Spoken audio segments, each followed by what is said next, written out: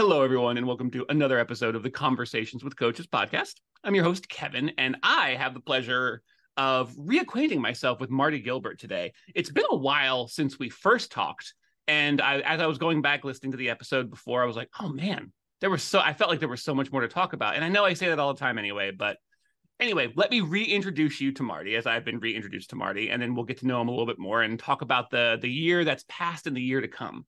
So if you don't remember or haven't recently listened to the episode, Marty is the owner of NSENG, one of the country's largest job search networking and coaching organizations. Over the past decade plus, his events and job search coaching services have helped thousands and thousands of individuals to land new career opportunities. Now, Marty is an accomplished individual. I, I just recommend that if you don't end up talking to him yourself, just peruse what he has on LinkedIn, on his website. He has done a lot for a lot of people in a lot of ways and is still as active and as thriving as ever. So, Marty, thank you for shaving off a few minutes for me today to talk. It's really good to see you again. Yeah, same here. I appreciate the opportunity. Awesome. Well, let's I've been kind of using these these revisiting podcasts to take a look back at 2023, which I feel like saying it's been a year. I feel like I've been saying that every year, especially the last few years. It's been been a lot of changes, a lot of developments, a lot of agility required, and a lot of new opportunities kind of opening up for people. So I'll kind of open the floor to you. What have you what have you seen in 2023 that has inspired you, excited you? What have you done in 2023 that you feel particularly proud of and pleased to continue in the year to come? So what what what stands out for you in the but we're recording this in mid to late October, just so that the audience knows that we're year in review. But you know, if something happens like a week before Thanksgiving, we can't cover that here. I understand, and and maybe it's worthwhile just to maybe calibrate what NSENG is, what we do, and then how coaching actually fits into it, because it's it's more than coaching, but coaching is the biggest piece of what I do. You know, this is an organization that I started about 13, 14 years ago. Today, it's the largest job search coaching organization, or it's the largest job search group in the United States. We are about 10 people away from reaching, reaching the 11,000 member mark. And as you mentioned, you know, I've helped, you know, several thousand people to land their next job. But most importantly, we're averaging more than one person in this group landing a new job every single day. And uh, so there's a lot of very positive activities. I've got webinars and workshops going on every three weeks. I move them, you know, and do it all on Zoom.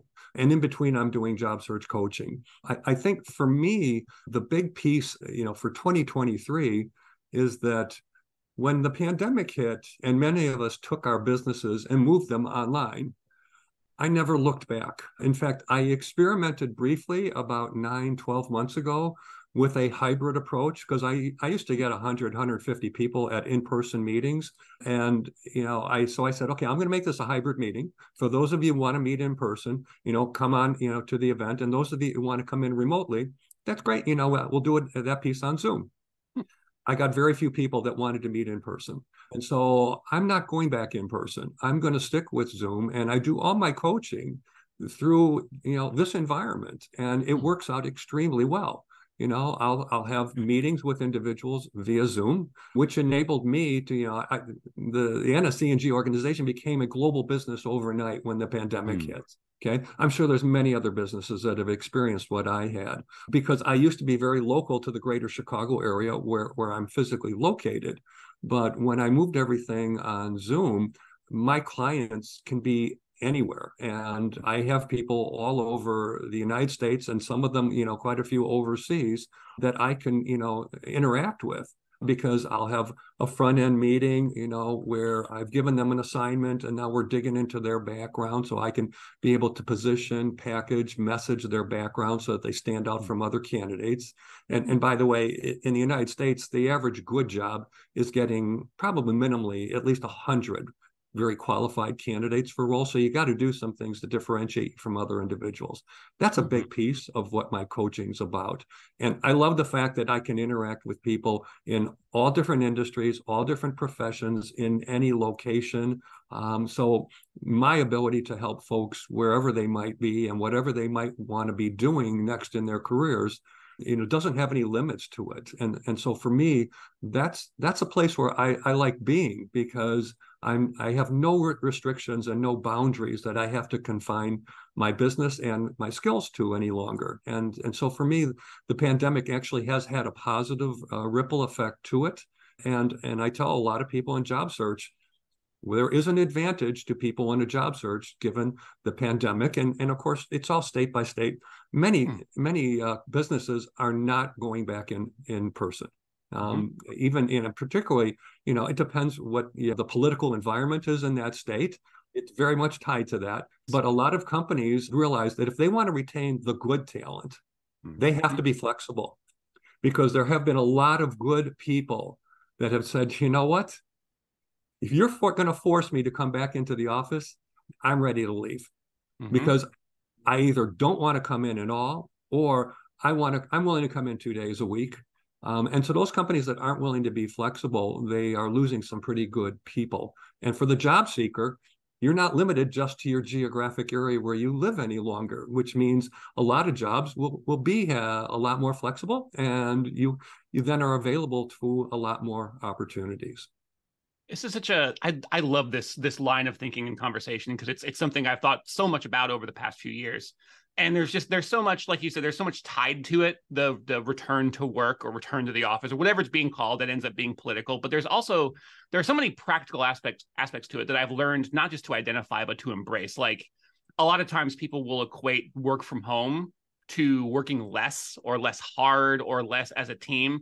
But like you said, there were opportunities in here. Like I've learned how to emote to my to my camera to my computer screen but in a meaningful way like i've learned how to connect with people genuinely in some ways even better than i was able to do so at an office or just an in-person environment. A lot of times i mean a lot of people hate to say it or they hate to admit it but the office isn't exactly the most efficient way to maybe get the job done again depending on the job.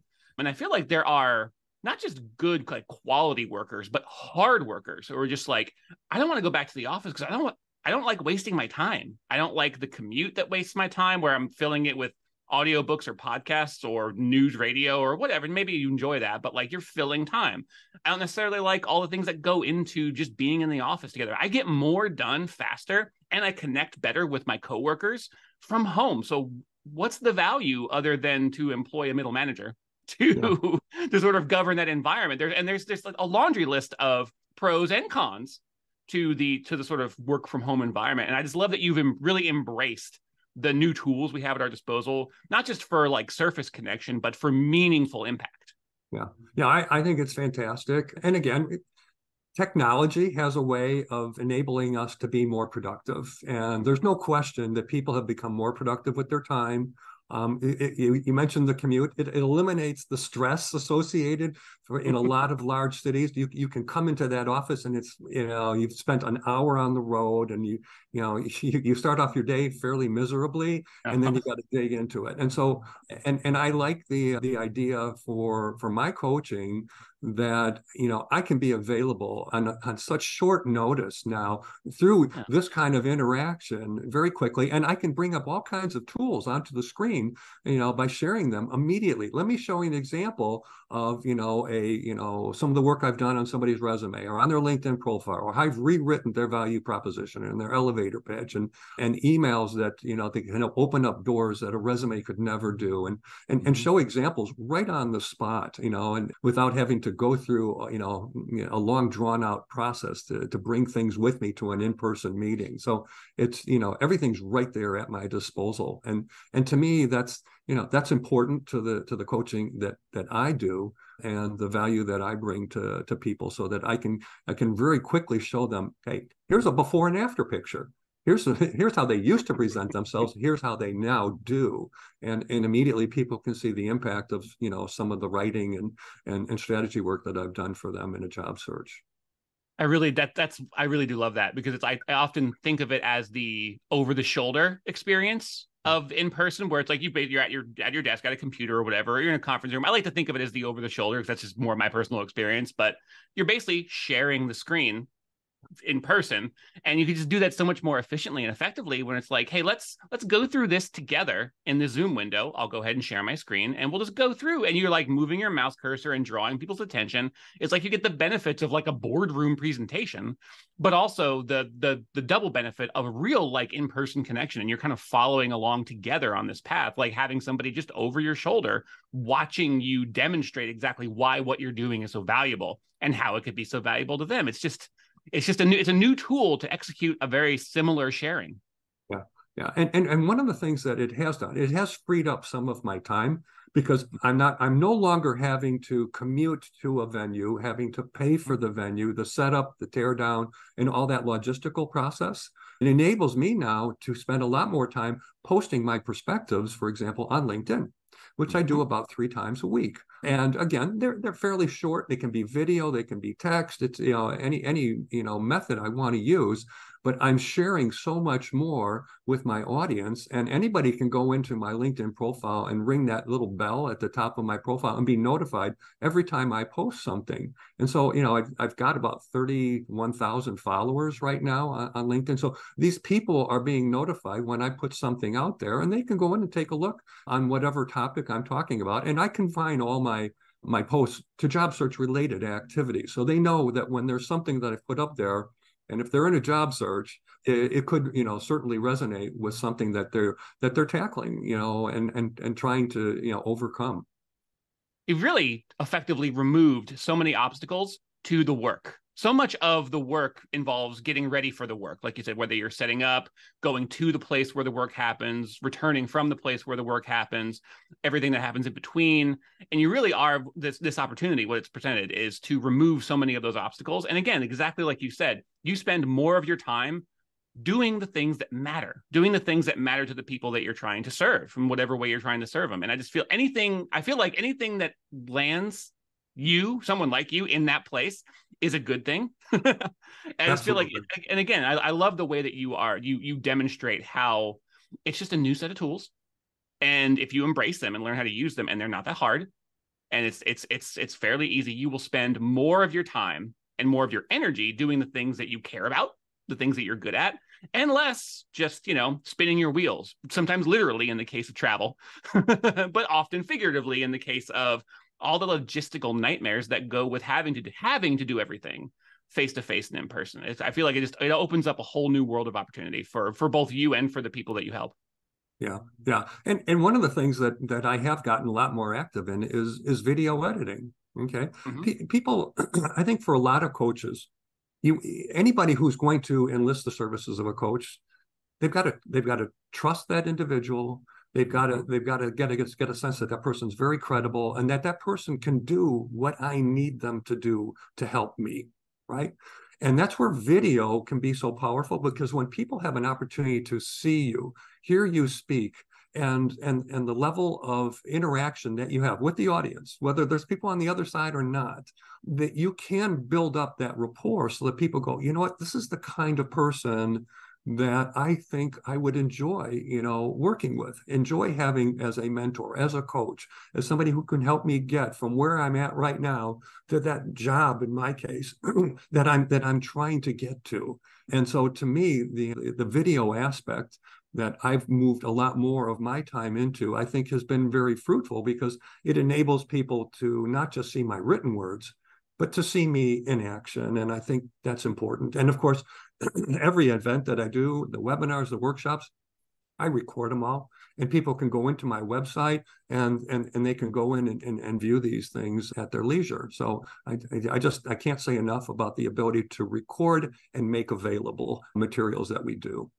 Yeah, it's. I mean, it's really when you think about it, it's really simple and straightforward. It's you give chance, you give people a chance to get to know you before you even know they exist. You just make yourself available. It's like it's just you being you. They see your face, they see the way that you smile, the way that you look at a camera or at an audience, and they get a they get a real impression of who you are and whether or not you're a good fit for them. There might you might say something in a certain way, a certain turn of phrase, or say it with a certain passion that's demonstrated on your face that people just they can respond to that. They can respond to your your your presented humanity and be like i need to connect with this with this person and then they they come to you and they kind of already know you a little bit and they've also just sort of it's almost like you've you've sort of broken the ice with them before you've even met. You've already like talked about the weather and like got an understanding of like who the who who you each are and like how you might be able to help each other. And that you could just jump right into the good stuff then because they've already kind of broken the ice just by watching you say what you say and do what you do. It's just yeah, the the benefits are are tremendous. yeah, yeah.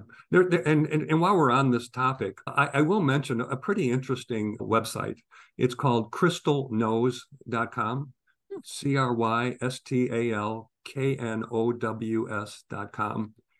You can do a you can get a personality assessment on anybody who's got a LinkedIn profile before you ever meet with them.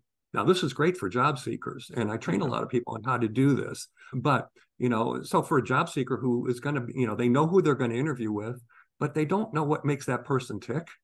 Mm-hmm. Well, depending upon how much content that person has in their LinkedIn profile, you can actually get a very detailed assessment of their personality. How do they communicate? What seems to motivate them? Are they a driver? Are they passive? You know, what kind of role do they like to play? How do they interact with people? Again, it's only as good as the amount of information in someone's profile. Yeah. But boy, can it be helpful when you're going into an interview and wondering, you know, you know what you know what makes this person you know interested in me or other candidates that you know that might be interviewing for a job and it's a it's a it's a great tool. It's a great tool for business people. You know boy wouldn't it be great to, t- to have that kind of an assessment before you talk with a, a potential cl- client and and get a perspective on on what they're all about what excites them? And then you can start to to, to sort of adjust and, and modify your approach on how you want to communicate with them. I really love first of all i'm definitely going to check that out. And i really like that because that's something i don't think a lot of people think enough about is that moment when you're in the interview or in one of the interviews and you're meeting someone who's maybe for probably for the first time you're like interacting with them for the first time with someone who's going to make a significant decision about your your professional life kind of and you're like you're basically you're dropped in not knowing who this person is. And so you're basically having to pick up on the fly everything you might possibly pick up. Maybe you've got your pre-packaged anecdotes that you know you might realize in the first five minutes won't work for this person because it's obvious that xyz they won't get it or there might be a generational gap that you didn't really realize until you went into the room. There's so many different things you don't know. And i love the idea of being able to meaningfully prepare. So you're not just going in blind and having to just just try to pick up whatever pieces of interaction you might be able to pick up. And that's so I mean that that's the difference between like if you've got, you know, 17 qualified candidates right around in the same tier, how do you differentiate yourself? You nail the interview. you make a connection with the people, the person or people who are interviewing you. Because and you know, you could do that because you know a little bit. You did a little bit of the homework, a little bit of the background research to give you that edge. That's I love that. Yeah, and, and, of course, LinkedIn does give gives everybody a potential edge because mm-hmm. if the person, if you're in a job interview, well, before you have that interview, the first thing you should be doing is, do I have any mutual connections with that person I'm going to be meeting with, okay, or I'm going to be talking with on Zoom? And if you do, well, then some of these people that are connected to you and connected to that individual, they might be able to give you some pretty valuable background because they worked with them before. They are friends with them. They're related to them. They're a neighbor of theirs, and they can they can give you a sense for what this person's all about. So having more and more LinkedIn connections has its advantages for multiple purposes. One of which is more connections give you more potential to get background on people, but it also gives you the ability to see more when you go on and start doing filtered searches on LinkedIn, which is important to coaches, you know, mm-hmm. because you're looking for certain kinds of profiles of people that you think are a fit with, you know, the kind of audience that you're trying to reach. It might be based on industry, it might be based on job title, it might be on geography. And you if you have more connections on LinkedIn, the results and the number of people that you're going to get in the filtered searches that you do will be far greater um, than mm-hmm. somebody who's you know sitting on less than 500 connections. So it's you know it's it's a great tool. I use it constantly, and you know I can't say enough about how it's enabled me to be more effective and get more visibility for what I do, so that I can help you know some of these folks that are struggling to shorten the time it takes to find their next job. Yeah, I, I've I've been amazed. Even five years ago, if you told me that LinkedIn was a powerful tool for for professional and personal connection and on in a myriad of different ways, I might have laughed in your face because it was. I mean, it was it was beginning to evolve back then, but it had still, for the longest time, just seemed like a resume builder on steroids or whatever. And it was just, it was a very limited platform, and they really have I mean, I, I invite anybody listening if they haven't really dove into LinkedIn for a little while, even if it's just been like six months or 12 months, they have committed themselves to becoming a robust professional connection platform, not just in name, not just with like a resume and just like, you know, very formulaic templated posts and direct messages. It's a meaningful social media platform now upon which you can you can do so much and make so many meaningful connections and get so many opportunities. I just if if if it's been a while since you've dove in, just just dive in. It's also one of the least toxic social media platforms you can find. You actually can cut through some of the shall we call it noise that you might find in other platforms and get to the meat of what you might be looking for. So yeah, I, I also can't say enough about how powerful it's become. So I, you know, I think that when when I think also about what you know what's transpired in in 2023 for for my business, particularly on the coaching end of things, is you know I, I realize a, a lot of people out there, what and not just job seekers, but a lot of people don't write well. A lot of people don't write well. They don't communicate well in in writing, and if you can't write well, it's difficult to speak well. It's difficult to to put things online, offline, and and so to me, that's where I begin to differentiate myself. And so a lot of coaches, they you know, a lot of them may look alike or act alike. I have a huge differentiator when it comes to job search coaches because I didn't grow up in HR or talent acquisition or talent recruitment. And I tell people quite honestly, the job search is 90% marketing. It's mm-hmm positioning, packaging, messaging, you know, engaging, targeting your audience, and then developing an outbound marketing campaign. I said, and that's the world I've lived in for over 30 years. And, you know, and and and unfortunately for a lot of job seekers, most of the job search coaches don't come from that background. They've grown up in HR. And it, it really takes a talent for writing. And I started out my career in advertising as a copywriter. I worked for the largest ad agency in the world. I helped mm-hmm. introduce some of the most famous products in the world because I was recruited and, and, and moved to uh, Tokyo early in my career to work for Dentsu, which is the largest ad agency in the world. And at the time I worked there, they had 6,000 employees, but only five of us were not Japanese. But we hmm. were hired to help all of these Japanese multinational firms to introduce their products to the United States, Europe, other parts of Asia, Latin America. This was when the Sony Walkman, the VCR, the microwave oven, of course, Toyota, Honda, and Nissan were all clients of ours. Matsushita, Mitsubishi, Hitachi, Toshiba, all the camera companies, and everything we did appeared every week in Time, Newsweek, Business Week, Fortune magazines, and it just honed my writing skills very quickly in you know in my career, and it has served me well in every job I've ever had, and and mm-hmm. particularly in the coaching business where the ability to write uh, about a person's value and, and, and to help them streamline their messaging is so critical and it doesn't come natural i realize to everybody. And so for, for me it's always been a, a very big and significant differentiator versus other people that are in my coaching space. Yeah and uh, honestly i think as we talked about video a few minutes ago and its importance and how how powerful of a tool it's become people will get tempted to let their writing skills either stop developing or never develop them at all. And yeah, I, I, feel like you would agree with this. I would encourage everyone to don't let that happen.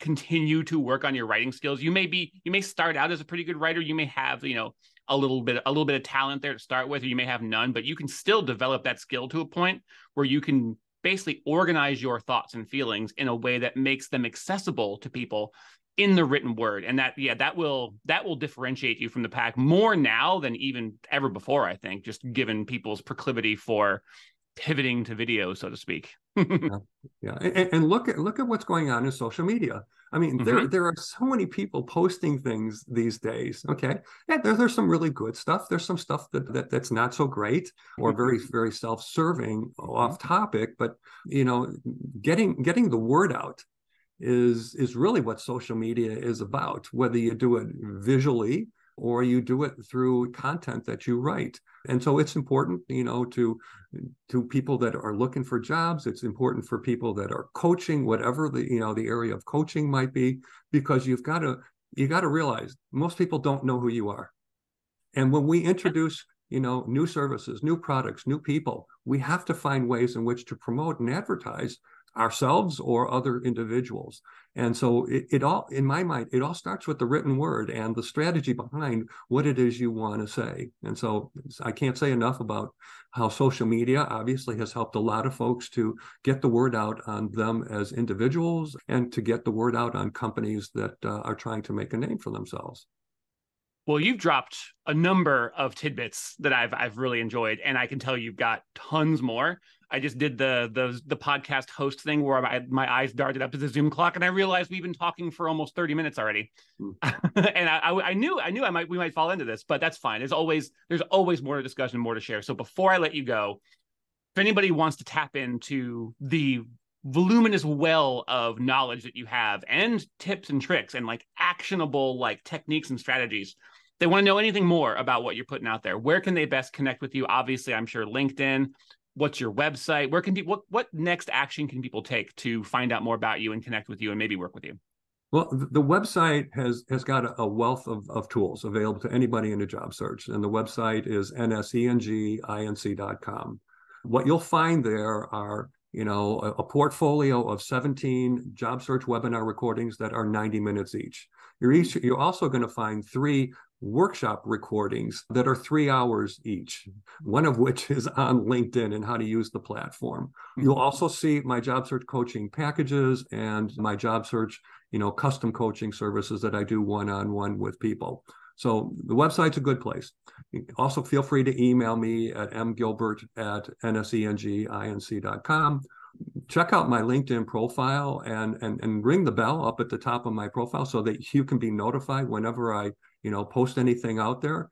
And you know I've got events that that that come up every every few weeks. I think depending upon when this will air, the next one I'm going to do. I do a lot of free LinkedIn lives uh, I do half hour sessions where it might be a Q&A session open to anybody, or it might be a specific topic I'm talking about. You know, I'll get anywhere from 500 to, to 1500 people registering for these. But the next one is going to be on Monday, November 20th. I haven't decided what the topic is going to be, but people should keep an eye out for that on my website. I'll always, you know, post them up there and you can go ahead and register.